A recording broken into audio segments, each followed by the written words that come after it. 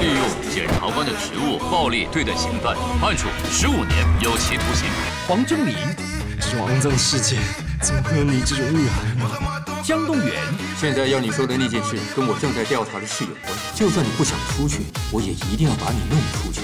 最不可能的王牌搭档，以后你要面对的是一群非常可怕的人。前所未有的绝地大反击，一切都要靠你。王牌计中计，未来电影台精彩出招。